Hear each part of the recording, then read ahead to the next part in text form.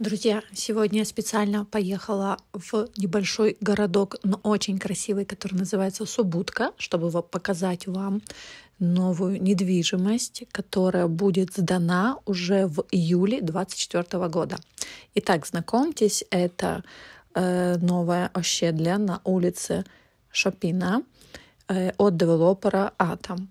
Здесь на самом деле очень красиво, свежий воздух, потому что Сабутка находится прямо возле гор, возле леса.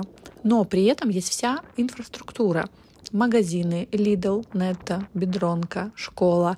Прям возле этого комплекса э, будет остановка общественного транспорта. А что самое классное, для тех, кто хочет работать во Вроцлаве, это то, что сам комплекс находится в шести минутах ходьбы. Именно, да, действительно, в шести минутах.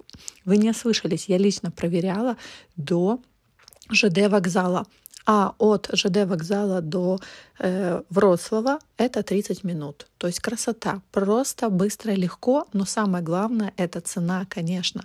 То, что во Вроцлаве стоит в среднем от 13 до 17 тысяч за квадратный метр, то здесь за 9 тысяч квадратный метр. То есть двушка сейчас стоит 346 тысяч, трешка стоит около 480 80 тысяч.